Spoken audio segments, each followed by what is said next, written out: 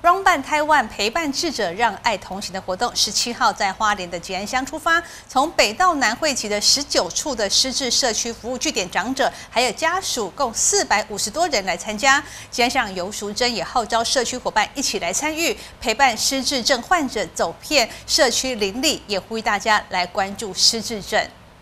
创办台湾是源自于日本，不过今年受肺炎疫情影响，反而只有台湾能够举办相关的活动。十月十七号这一天，全台湾共有包括新北市、新竹县、嘉义县、屏东县、宜兰县和花莲市等六个县市齐步出发。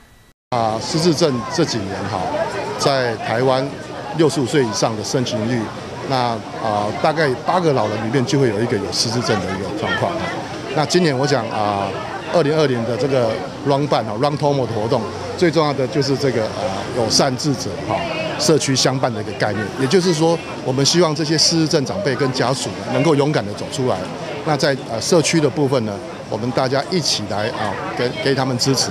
让他们获得更多的这个啊大家的关注跟支持，那让他们能够在我们的这个社区里面能够有更好的一个适应的生活这样子。因为现在都在推失智友善社区嘛。那我们希望失智的长辈们，哈，跟失智的家庭，他们可以在社会生、社会社区当中生活无碍。那借由这个 Run 半路走的活动，让他们可以走出社区，让大家看到失智长者跟家庭他们的那种凝聚力跟那种生命的动力。这样，既然乡长尤淑珍也全力支持这项活动，不仅亲自陪走，更号召社区伙伴踊跃来参加。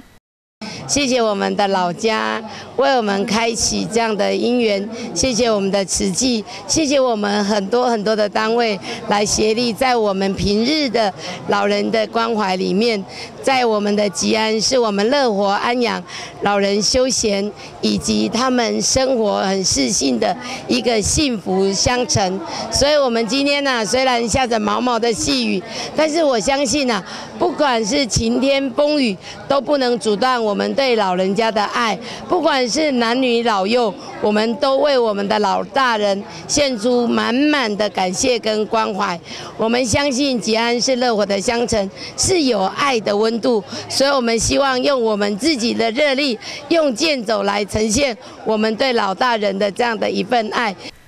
二零二零 Run 办台湾是由各个主办单位发挥创意，透过结合地方色彩，展开出了独具特色的失智症宣导活动。除了串联各地的失智据点、医疗单位、政府机关等，还主动拜访宣传，也邀请沿途的商家、学校、部落企业一起来参加，共同串联起坚强的失智资源网络。